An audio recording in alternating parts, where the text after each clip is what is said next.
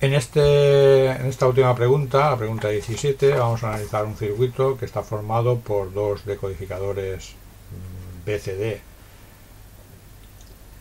a decimal. Tenemos una tabla de verdad y se nos pide que localicemos las dos combinaciones que hay erróneas. Bien, vamos a analizar el circuito de la siguiente forma. Cogemos la variable d, vemos que está negada, por lo tanto aquí va a entrar con denegada y como hay aquí dos negaciones, si esto es denegada y volvemos a negar, aquí entraría como d real.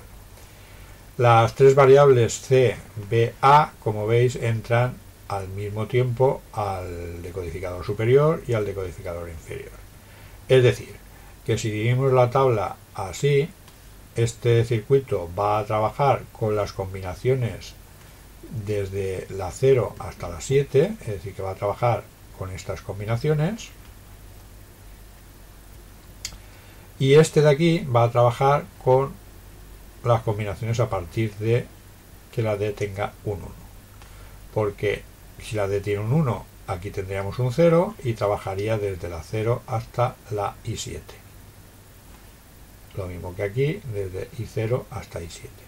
El 8 y el 9, que son las combinaciones que hay aquí, 8 y 9, trabaja tanto este de aquí como las primeras que tenemos aquí. Es decir, que la I0 de este decodificador sería lo mismo que la combinación 8, la I1 sería la combinación 9 y podemos cogerlas tanto del decodificador inferior como del decodificador superior. Y vamos a anotar aquí las combinaciones. Esto sería 0, 1, 2, 3, 4, 5, 6 y 7. 8, 9, hemos dicho que aquí se repiten la 8 y la 9. Esta sería la combinación A, si ponemos en esa decimal. Esta sería la B, esta sería la C, la D, la E y la F. Bien, vemos eh, las patillas que van conectadas y como veis pues tenemos el 2, tenemos la patilla 6, tenemos la patilla 7, tenemos la patilla 9, tenemos la patilla I5, que si ponemos 1, 1, 0, 1, esto es el D en esa decimal, y eh, la última sería el 7, que sería un 1 aquí, 1, 1, 1, que sería la F. Y estas son todas las combinaciones que van a, proporcionar uno o uno por aquí. Y en este caso,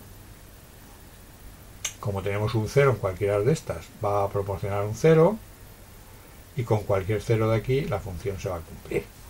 Bien, pues vamos a ver exactamente dónde falla. Vamos a ver los unos que hay aquí, a ver si coinciden con los unos que tenemos eh, fijados aquí. La combinación 2, la combinación 2 es 0, 0, 1, 0, hay un 1, luego está bien. La combinación 6 tenemos un 1, está bien. La combinación 7 también tenemos un 1, está bien. La combinación 9 tenemos un 1, está bien. La combinación D no tenemos un 1, ya hemos encontrado el primer fallo. Y la combinación F tiene un 1. Es decir, que hay un fallo porque en la combinación D debería dar la función un 1 y no la da. Luego ya tenemos localizado el primer fallo, el, fallo 1101. Este fallo se produce porque en lugar de sacar un 1, saca un 0 la función. Pero puede darse el caso contrario. Es decir, una función eh, una combinación que dé un 1 aquí y que no esté reflejada en el esquema. Vamos a buscarla. Como veis, aquí tenemos eh, un 9, que sí que lo hemos considerado, el 2, el 6, el 7, la D y la F.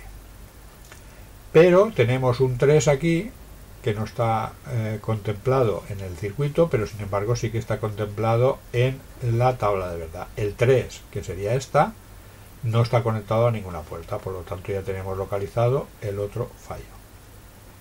Luego la respuesta correcta sería esta y esta.